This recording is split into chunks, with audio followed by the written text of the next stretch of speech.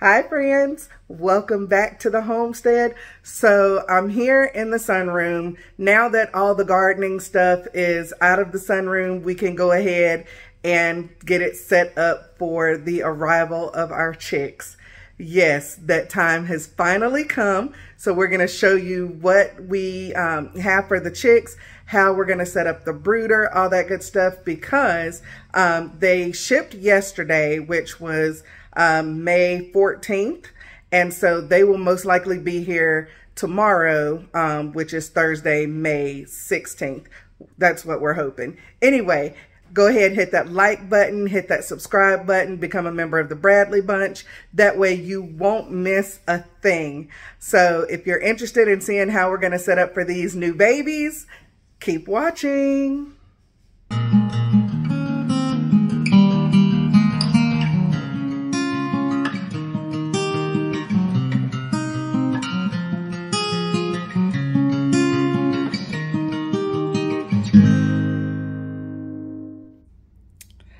All right, friends. So the first thing we have is the little feeder. We decided to start with this size because, again, these are chicks.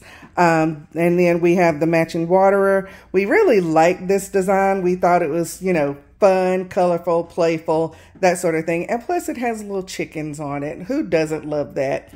Um, we also picked up a bag of marbles uh, because we were told to use marbles because apparently chicks are not very smart and they could literally drown in a little bit of water. So we're putting marbles into the waterer with the water to make sure that doesn't happen. Safety first.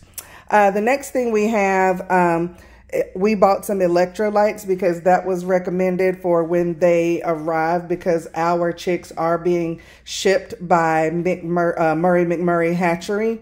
This is our first time trying them because this is our first time having chicks. But all the homesteaders that we watch on YouTube swear by Murray McMurray. So we decided to go with them for our chicks. Um, and so we're going to be adding the electrolytes just to kind of help, you know, give them a boost when they get here, just to make sure they're drinking water, give them a good start. And then speaking of starts, we bought this Cluck and Company. It's organic chick starter crumbles. We got it from Tractor Supply along with um, this DuMOR Chick Grit. So um, we wanted to make sure that our, our chicks were really healthy, had a good healthy diet. Um, we did not get medicated feed. I want to go ahead and put that out there. Our uh, feed is not medicated because we had Murray McMurray to go ahead and vaccinate our chickens for um, coccidiosis and for Marek's. So that's why they don't need the medicated feed. The only time you would really need the medicated feed is if your chicks are not vaccinated. And then the last thing um, I want to show you before we get to the brooder is these puppy pads. So the reason we got these is we were watching some YouTubers going back and forth about whether or not to put down the uh, pine shavings or paper towel or whatever when they first arrive. Well, they say that you should put paper towel or something flat um, in the brooder to allow their feet some time to get used to walking. And we wanted something that was going to be a little more absorbent than paper towel. So we decided to go with the puppy pads. And so that is what we have for the chicks for when they arrive. And next up, I'm going to show you what the brooder is because you may be surprised. All right, y'all. So this is what we're going to use for our brooder. We chose this because as you can see, it's very well ventilated. It's huge. Look at all this space those babies are going to have. It's got um, little windows that you can raise, all that good stuff to have easy access to the food, um, as well as the, uh, the brooder and I'm going to show you exactly what we're going to use as well because I completely forgot to show you the heat source that we're going to use for them. But wanted you to see all this. So the husband's got it. So we're going to use the pro uh, Producer's Pride Chicken Coop Heater and Brooder. And we chose to go this route because um, for us, fire safety is huge. and we didn't want to risk having um, a, a, heated light bulb or, you know, the, the red light bulb, you know, not being secure enough and then something happening to our chicks. So we chose this because apparently it's much more um, safe for your chicks. It's sa safer for us. Um, and it mimics the mother hen. So that's why we chose this as our, um, our heat source for our, our babies. So yes, so back to the lovely brooder. So it has a mesh roof to keep them from flying out when they get to that point. It's got little pockets and we think this is gonna be perfect. So we are gonna start putting everything in um, and getting it set up for the baby. So the first thing we're gonna put down um, are the uh, puppy pads.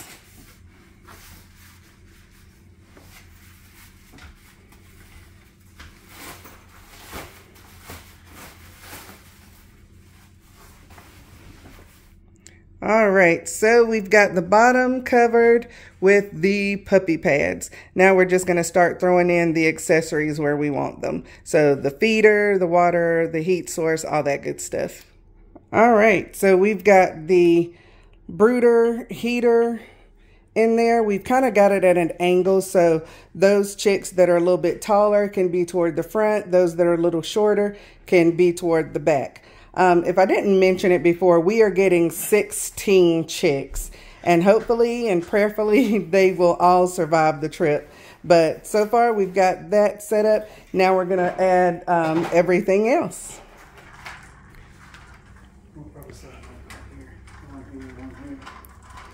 All right, so we're going to set the food and the water inside we may leave it like this or we'll probably put it together because they need to be able to find both. So we'll probably put them side by side um, just so that they know where their water is. So yeah, and it'll make it easier for us to just grab them and refill them when needed. And the last thing we're gonna add is their little toy because we did um, get them a toy so that they are not pecking each other.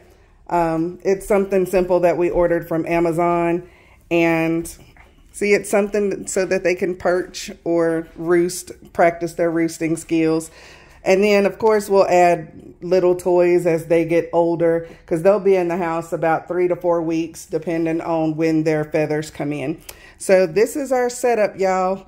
Um, tell us what you think. Are you using this type of setup? We really would love uh, to know. So, um, yeah. So now we just wait on our babies. And once we get them here, we'll go ahead and add the feed and the water. And yeah, I'm so excited. I hope you're as excited as we are. Good morning, friends. So it is Friday. What day is it?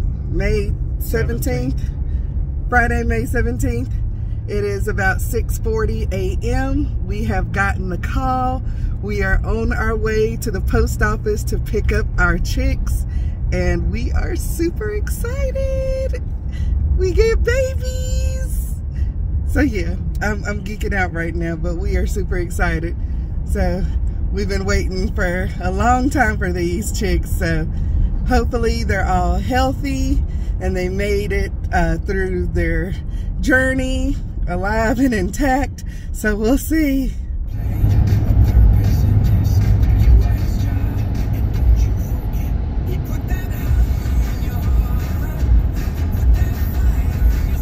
All right, we are pulling up at our post office, but because they are currently closed to the public, we actually have to go to the dock to pick up our chicks. So I'm so excited. Babe, are you excited? Excited. Woohoo! All right, let's do this. All right, we got our chicks. And listen to the sounds of that peeping.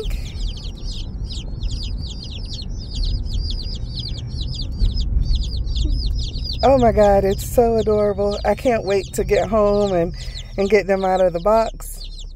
They've been cooped up, bless their hearts, for almost three days because they shipped on Tuesday evening and they'll be in this box until we get them home in about 15-ish minutes. So, yay! All right, friends. So we just got the brooder set up. We've got their food and water inside. We just set it up. Now we're getting ready to get them out of the box. Look at them. Oh, look at the babies. One. One. And we're going to dip his little beak in the water. Oh, hi, baby. There's two.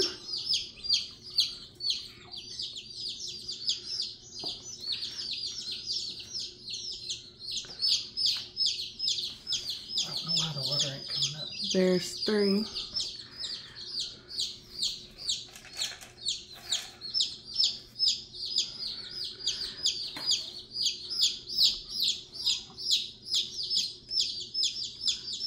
There's four.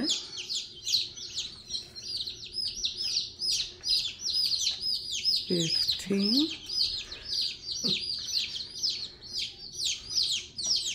Last one. 16.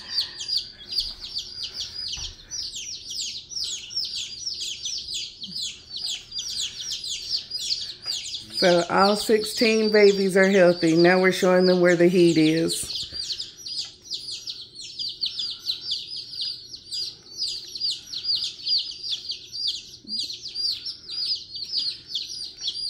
Yeah, just stick them right under there, babe, if you can.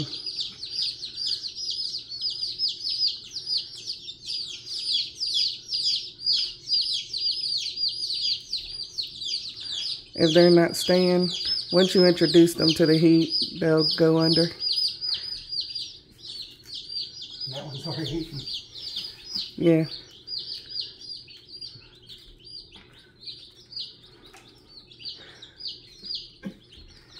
Whoa. They say we're hungry and thirsty. Look at them. Oh, the babies. Maybe take some of the crumble out and just have a little trail Yeah. to the um, to the feeder. Just a little bit, yeah.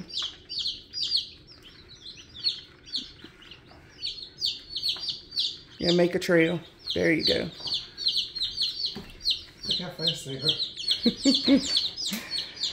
Well, guys, so we got 16 chicks, and all 16 of them survived the journey. So now we're just going to watch them for a few days. So you're probably wondering what breeds we got. So we got, um, what do we get? We got eight breeds, two of each. So we got two black Australorps. We got um, two buff Orpingtons, two white Orpingtons. We've got um, two silver laced Wyandottes or red silver laced Wyandottes. I forget the name. Um, we got two golden lace Wyandottes. I feel like there's another Wyandotte in there. Uh, we also got two Rhode Island Reds. And we got some good, you know, good layers. So, yeah. I'll have I'll put the complete list in the description box because I can't remember. I'm just way too excited for my brain to work. But look at them. They're precious. So this is the setup we have for them. And there's their little rooster. As you can see, they are finding their food and their water. Some of them are over by the heat source and they're they're loving it. Um, we do have a ceiling fan going just so that there's air circulation because we know it's going to get a little stinky in here. Um, we don't have a barn, which is why we are brooding them in our house. Um, but it's okay because we can close the sunroom off uh, from the rest of the house, which is great. Um, but yeah, so those are our new babies, our little cheeky chickies. Um, so in a few months, four to six months, we will have some some egg layers. They'll be laying in about four to six months. So we're excited, and we will keep you posted on their journey. And and you know give you updates on how they're doing. And as you can see right now they're quite happy to be out of that box. They're drinking and running. yeah they're running. So they seem to be good. There's a few under the under the brooder. They're just like um we cold. So they can go under and get warm when they need to. So yeah all right, you guys, so that's all we have for this video. Thank you so much for watching. We really appreciate your support. If you like this video, don't forget to give it a thumbs up and be sure to hit that subscribe button so you can stay up to date on everything going on here at the Bradley Homestead. We love you. God bless you, and we'll see you in our next video. Bye.